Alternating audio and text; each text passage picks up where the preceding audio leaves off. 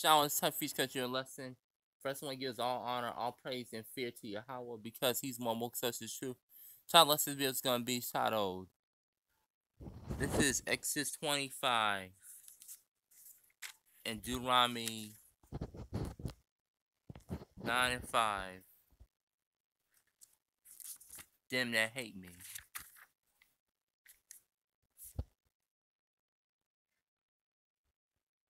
Five man, them that hate me. All right. Because you have to these people most I was saying, oh, them that hate me.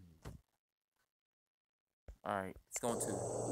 What's happening, YouTube? Welcome to the Mr. Winslow channel. I am Mr. Winslow, your host, and today we're going to be discussing a very hot and controversial topic, which deals primarily with God is evil. We are going to be discussing the Abrahamic God, yes, God of the Torah, the Bible, and the Quran. And we are going to illustrate that this God is not only omnipotent, omnibenevolent, omniscient, and omnipresent, but omni-evil as well. So without any further ado, let's get started, shall we? If we look at the definition of evil, it is defined as wrongdoing and wickedness. If we want to take a more in-depth look at this definition, we find three characteristics immediately come to mind. Evil people are characterized by being very ego driven and vain. They are also characterized as being very lust for death and suffering driven. And last but not least, they have a serve me and enjoy it or die attitude.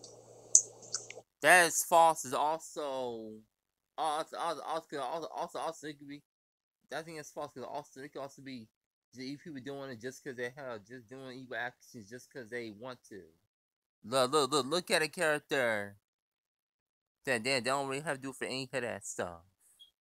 They do out, out of just pure sad, being just pure sadistic sadism. Look, look up a character called the Batman Who Laughs Origin. These three character traits are traits that the God of the Bible, the Torah, and the Quran has in a huge abundance. Yes, he does. If we look at the first aspect, which deals with. Let, let, let me cut this full. Hold up. This full.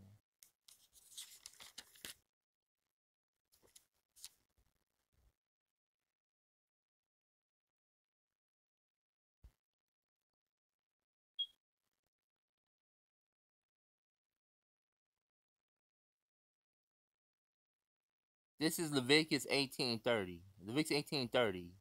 Therefore shall ye keep mine ordinance that ye commit not any one of these abominable customs, which were committed before you, that ye defile not yourselves therein. I'm Yahweh your God. Most High didn't even want, didn't want Israel, wanted want Israel to corrupt themselves. Being very ego driven and vain, we see that the first. So, so this fool guy just got cut. But that one gives all honor, all praise fit to Yahweh because he's been working to shoot that Shalom. Hobo, hobo.